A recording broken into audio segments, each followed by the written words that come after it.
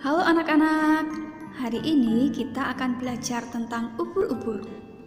Ubur-ubur adalah salah satu binatang yang hidup di air atau di laut. Ubur-ubur adalah binatang yang tubuhnya lunak, dia tidak mempunyai tulang. Dalam bahasa Inggris, ubur-ubur disebut dengan jellyfish.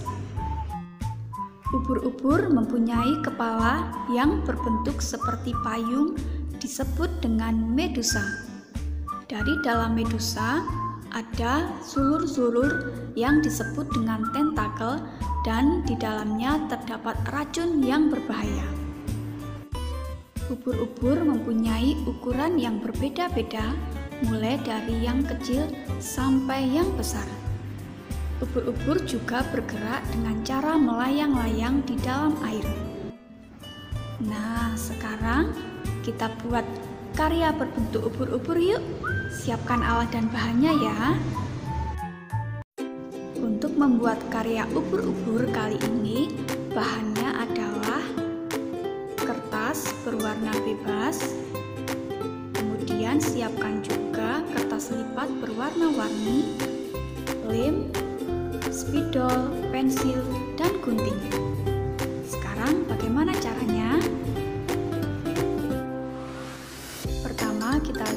Kertas menjadi dua bagian, lalu kita gambar seperti bentuk payung dan gunting sesuai polanya.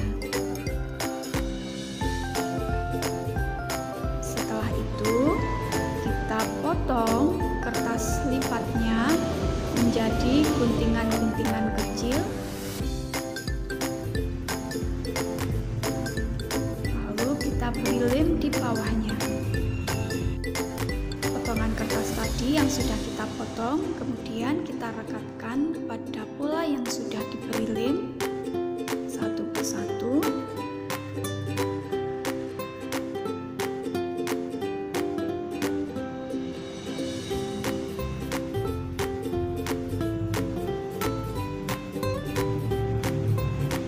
Kemudian supaya rapi, kita tutup dengan pola yang satunya lagi.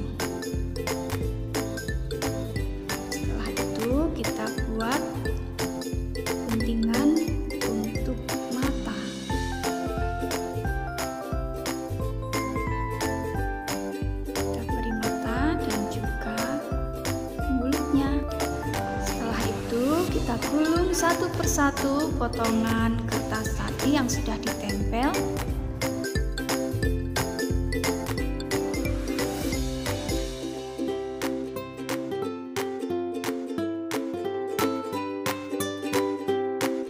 Nah, ubur-uburnya sudah jadi. Selamat mencoba anak-anak semua.